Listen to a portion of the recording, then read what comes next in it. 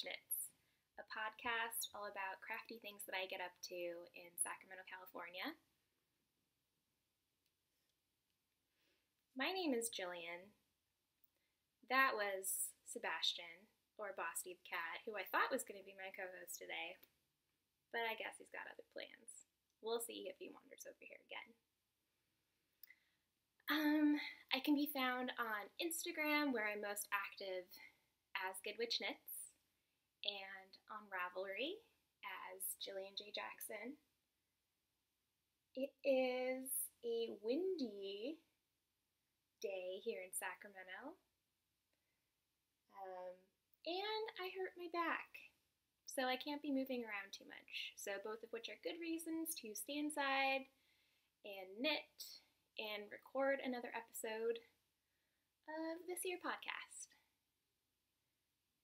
So jump to jump right in. Let's talk about what I'm wearing.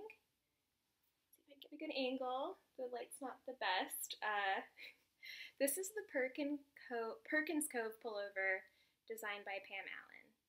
I knit it out of one of my favorite Quince & Co bases, Sparrow. It's 100% linen. Um, and yeah, I love this top. I don't remember the name of this colorway, but it's fun. Got the yarn at Twisted in Portland. The design calls for three quarter length sleeves. I did not have that much yarn and wanted a light breezy top, so I um, just bound off at the sleeves what else about this guy? Oh. Hey, buddy. Gonna clean himself back there. No big deal. Um, this pattern calls for using two different needle sizes. A smaller one and then progressively getting larger for the shaping of the shirt. I just used the same largest size for the whole top and did the A-line shaping while blocking kind of, but I, I wanted it to overall have this like drapey loose look, which I think I got. I dig it. I have quite a few finished objects to share with you. Not all of the objects I wanted to finish by recording another podcast are completed, but uh, I just will have too many to talk about unless I start recording now. So let's jump into it. I'll start with the one that's closest to me. I finished my Irving socks designed by Jacqueline Salem. I love these socks. As soon as I saw them on Instagram, I knew I had to make them. They have this excellent, yeah.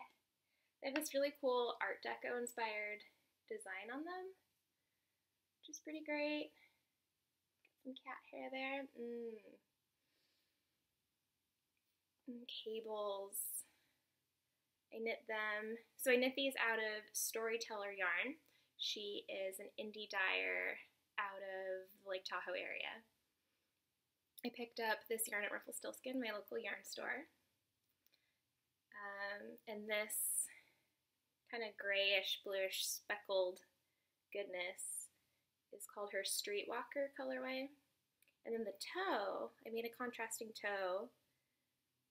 That, trying to remember the dye. I picked it up at Gather downtown LA in Los Angeles.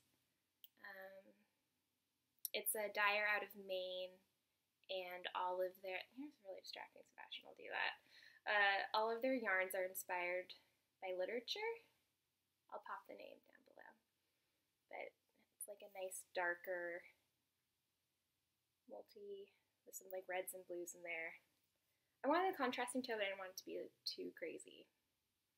So yeah, I love these socks. I knit them uh, two at a time on my ChiaoGoo size 1 needles. And I knit small. I got small feet. And I like my socks snug an alteration I made on these socks. Uh, it calls for, think, like a short row heel in the pattern. I can't remember exactly, um, but I prefer a heel flap and gusset on my socks. I'll talk more about that later. Um, and because the smallest size, I don't think I'm giving away too much about the pattern, but the small size of this, the, the pattern part of the sock continues on the back. I wasn't sure if I would be able to do a heel flap and gusset not make it look weird, but it worked out fine. So, yay! Irving socks. Uh, designed by Jacqueline Salem. Love them. My next FO Got a big old pile of stuff in here. Uh, actually finished well before these socks are the Sterntaler socks. I don't know, I don't speak German. Um, this was a test knit for Becky Sorensen of Soprano Knits. It, it uh, You can get this pattern free by subscribing to her newsletter, I believe. Um, and it's like a really simple pattern sock using a German twist cast on. It was my first time using that cast on. Just cat hair on everything. That's how things go in this house. Uh, it's a German twist cast on uh, and a twisted rib. It calls for a twisted rib, which was my first time doing that on a sock, and I really liked it. And then it has this seed stitch panel in the front and the back that kind of fades out. I think it'd be a great first pattern sock. So I knit these out of Valeria di Roma 100% merino wool. I have the ball. Oh yeah, here we go. Um, nope, definitely not 100% wool. um, it's 60% wool, 40% acrylic, and I picked this yarn up in Spain when I was there a few months ago. So this is the ball band if you're curious. I went to a few yarn stores while I was in Spain and I wanted to get some yarn that was made in Spain. So with this sock, this is my first time doing an afterthought heel and really anything other than a heel flap and gusset, which I haven't tried other heel techniques because the heel flap and gusset works pretty well for me. Um, when I've knit socks for other people, uh, complaint, no one really wants to have a complaint when I knit socks for them, but uh, an issue is fit around the ankle. So Becky's pattern called for this, and I know that afterthought heels and other heels for socks than heel flap and gusset create a tighter fit. Um, so yeah, I tried it, but I really don't like it. And maybe it's because I still haven't worked out the length that I really need to knit socks to before reducing for the toe. Um, it's just so tight in this area of the sock. I've looked up some techniques that you can do to avoid this issue and still put in an afterthought heel like knitting a few rounds and then um, starting the heel, but I don't know, we'll see. I might explore different heels, or I might just do what works for me. I'm also not sure that, so I love knitting these socks. Like, this is no fault of the pattern at all. I'm just not sure if this is what this yarn is meant to be. Because I really love this yarn, this color. Can you tell I like things in this color range? Um, yeah, so we'll see. We'll see what comes of, of these. What other finished objects do I have? I don't see anything right here. I knit a baby sweater. I have a new, oh, hi buddy. We have a new little cousin in my family. Her name's Matilda and I knit a little baby dress for her. I'm looking at my show notes here to see what it is that I knit her. It's the Kalas dress. I'll insert some pictures here. This, it's a free pattern available on Ravelry. It was designed by Madeline Nelson. Um, and Kalas apparently in Swedish means party, so it's like a little party dress. Um, I knit it out of Plymouth Encore, which is 75% acrylic, 25% wool, and I used my size 8 Knitter's Pride interchangeable needles. It was a super fun knit, and oh, I'll, she it, I knit the size three to six months because babies are all different kinds of sizes. Um, I don't know, just seemed like a safe size range to knit for her. My cat is kneading my skirt, which is very annoying right now. Sebastian, come on, kitty. Um, but the mother already sent me a picture of her baby wearing it. I'll, I don't know, I'll ask her if she is okay with me inserting a picture. Maybe, maybe not. We'll see. Um, yeah. So I think that's it for finished objects, actually. I thought I had a lot more. I guess that's it. So FOs. I tend to be more of a monogamous knitter. Uh, I get a project idea in my mind and like I have to work on it until it's done. But that currently is not the case. I've been really excited by some designs that I've seen on Instagram and in podcasts, and I've been casting stuff on. So let's get into it. Okay, one work in progress that I still have that I think I've had on every episode, probably. Probably not one I've been working on it a while. It's my Osinato sweater, designed by, I always have to look it up. It is in the fall issue of Amirisu.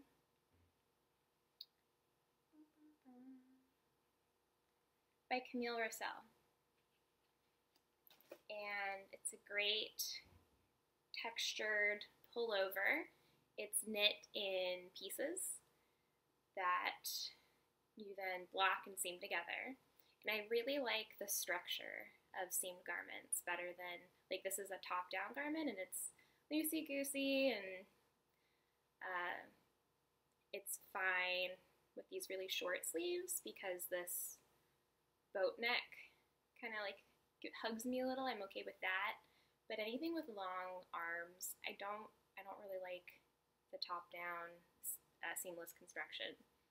I need some seams. I need some structure holding me together.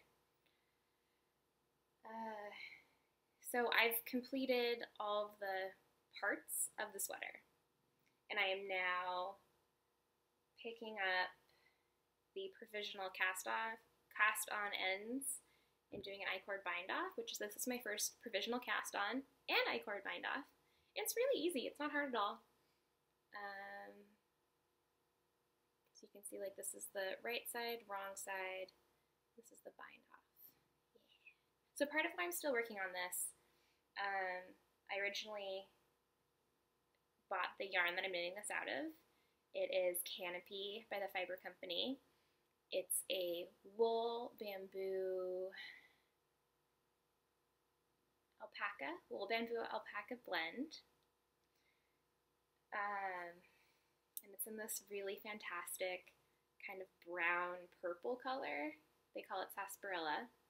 But this yarn is discontinued. I got it on sale because it, you know, they only had so many skeins left, and I ended up not having enough yarn, and I had to order another skein off of, I think I got off of Webs.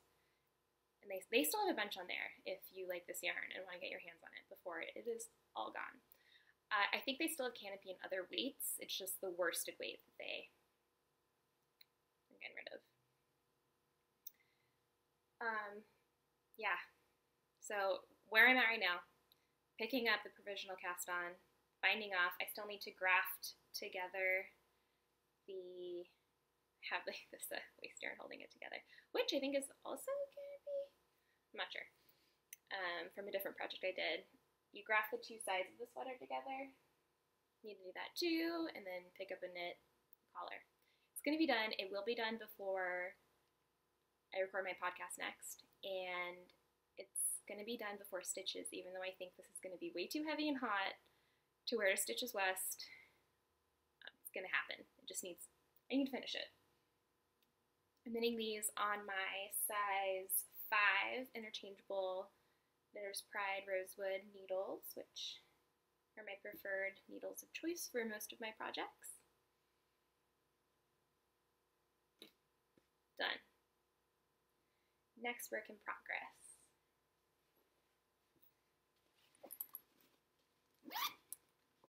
Okay, sorry there. Sebastian moved, uh, knocked the computer. You can see him. We're all settled now. It's all good. Just gotta readjust the computer. Okay. So, my first work in progress is um, I'm not sure how you pronounce this, but it's the P P Q U P P Q U P Q U. Should have practiced that before starting. And I'm at the beginning of a row. It's fantastic. Um, so the PQU shawl, which means I love you in what I think is an indigenous Chilean language. Yeah. So I was bumming really hard two weeks ago. I was just in a funk. And knitting on anything I had going wasn't taking me out of it.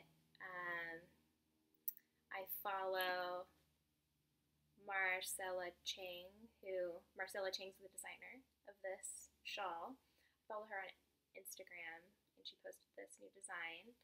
And just had these cool zigzags. I was looking for something kind of graphic to use both of these yarns in. So I cast it on. And it's really fun. It's making me super happy. So this is a project that's definitely outside of my comfort zone.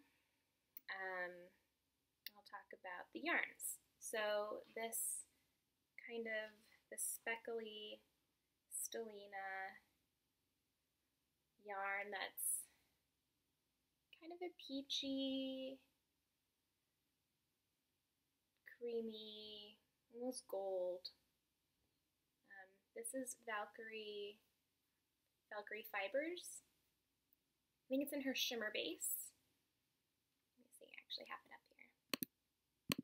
This is Valkyrie Fibers in her shimmer base. It's a fingering weight yarn.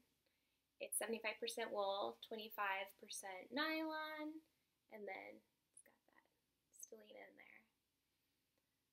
My mom gave this to me as a birthday. Was it birthday or Christmas? Same deal. Around the same time. Uh, she picked it up at a trunk show that Valkyrie Fibers had at Rumpelstiltskin. And I really love this yarn, but my mom picked it up, and I was like, ooh, it's like really my colors And then she gave it to me for Christmas. It was Christmas. It was a happy surprise. Um, and I'm knitting it with Anzula Shimmer. What, let's see what they call this space. Nebula. Anzula Nebula, which I think this is an indie dyer actually out of like Fresno or Stockton. It's a valley city near Sacramento. Um, it's in their opal colorway. Yeah. And it's it's a lot of sparkle. There's a lot of sparkle in this uh, this shawl. I'm really, really enjoying knitting on it. The pattern is very intuitive. It's easy to read your knitting, to know what you need to do. Um, in the original pattern, it calls for alternating throughout the entire shawl. I really love the speckles in this yarn, which is very fittingly called Victorian Christmas. I adore Victorian Christmas. It's my favorite kind of Christmas. Uh, so I wanted to show that off a little more. So I've been adding some chunks of just the Valkyrie fiber. The Valkyrie fibers in there. I'm really enjoying knitting on this. Um, I don't know if the person who this will be for is watching, but it's going to turn into a gift knit. Yeah. Okay. Uh, my last work in progress, just like a simple vanilla sock that I, oh wow, I like really just cast this on. Um, I'm knitting it on my 9 inch circular Hiya Hiya sharps. And I'm just knitting up some, I think this is Stroll in there, uh, Selena yarn from Knit Picks. Um, I like that it, I think I'm going to use some of this mini that I got. It's also Storyteller yarns, but it's not dyed by the owner of Storyteller yarns. It's dyed by her seven-year-old daughter. Uh, it's, pretty adorable.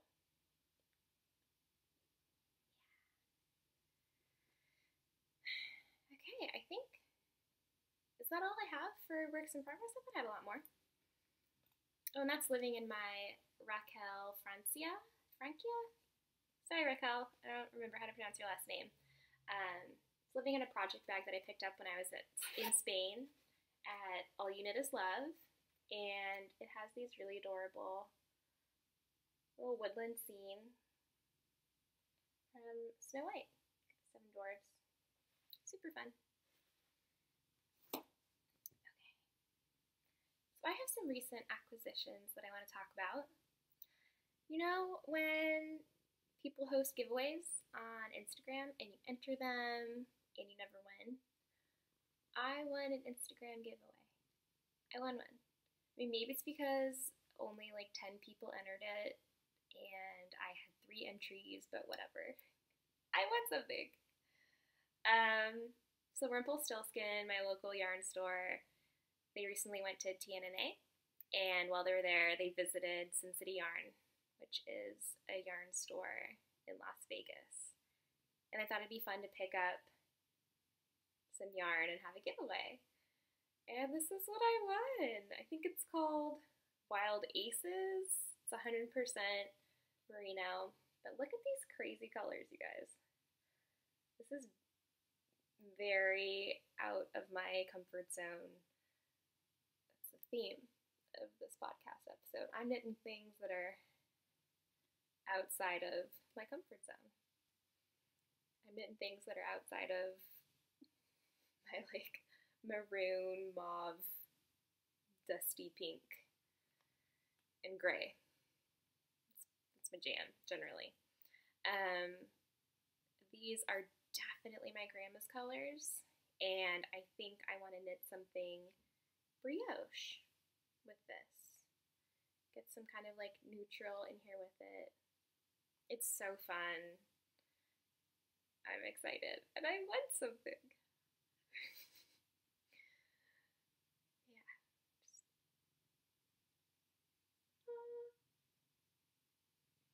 Uh, Can you hear Sebastian uh, purring? So I'm curious, when you knit, what what you consider in your comfort zone? Like, what's your go-to knitting patterns and knitting palette? And do you ever try and mix it up? Do you want to mix it up? Are you trying things outside of your comfort zone, or like you know what you like and you stick to it? I'm curious.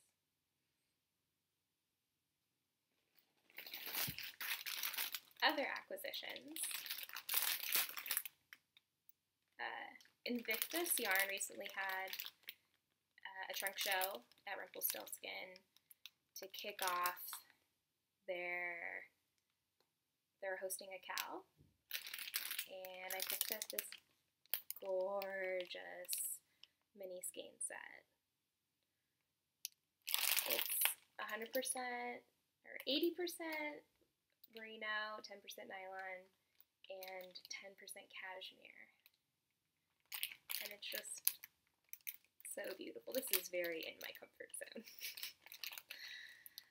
um, and I think I'm going to participate in the Olympic cow that Rumpelstiltskin's hosting. Um, I don't remember the name of the cowl. They picked three patterns, um, and one is this kind of like sampler cowl with different designs, and it is actually designed to use minis because they're like so cool and popular. Um, yeah, so I think I'm gonna participate in that. Add another WIP to the collection. Okay, Sebastian's gone. Jumped out of my lap. Kind of hurt. Why I had stopped recording so I could have a moment.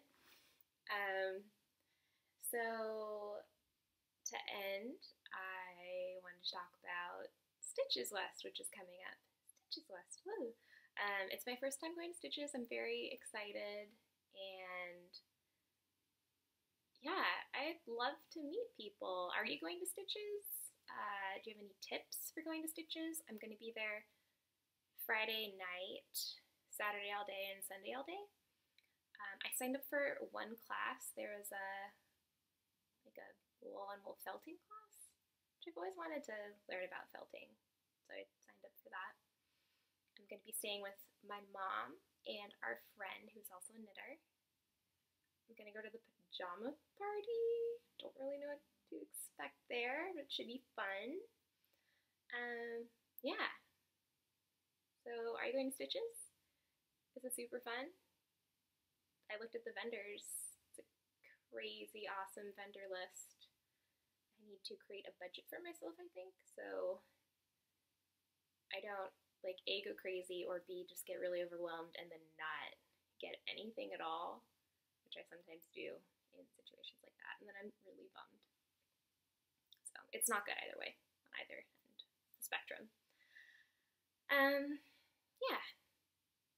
Other knitting related news. I started a knitting group here in Sacramento. I can't remember if I've talked about that on any of the podcasts yet, but um, if you know where Old Soul at the Weatherstone is in Midtown Sacramento, we are there every Wednesday or um, every first and third Wednesday. You can find us knitting there. Last Wednesday it was a lot nicer out. It's been in the 70s here in Sacramento. Don't hate. I know there's some really crappy weather going on around the United States. Um, it's gonna bite us in the ass when it's summertime. It's gonna be so hot. But right now it's like 70 degrees and really nice. So we're able to sit outside on a patio around a fire pit table, which was a little precarious with the yard, but we're all adults and made it work. It's nice to not only like share company with other people who can geek out about knitting as much as you like to, but it's just really cool to uh, create a group of people, you know, like I was really wanting this thing and I couldn't find this thing. Um, and I was really scared. I thought about like putting a call out for a knitting group for a long time, but uh, the thought of no one wanting to come out and what f- failure, I guess, would feel like just really paralyzed me. Uh, kept me from doing it. Paralyzed a little dramatic. Uh, I just like perfectionism and made me procrastinate on making knitting group essentially. Um, so it's just a nice reminder to, know, if you want if you want to do something, just do it. And yeah, these are my wise words. Okay, that's all I have for you today. Um, let me know if you're going to Stitches West or have any recommendations for first time Stitches West attendee. Um, let me know if you're knitting anything anything outside of your comfort zone or if you think doing that is just stupid. I don't know. Um, yeah, and I'm gonna work on finishing this sweater and work on my posture because my back really hurts. Um, yeah, lift things the right way, you guys. I hurt my back lifting a food processor from the bottom shelf up to up to my kitchen counter. proper postures real. um, and I'm gonna avoid the wind because I don't like it. It's, the wind's bossy. I want my hair to look a certain way, and the wind has its own ideas. Don't tell me what to do. All right, that's all for now. Till next time.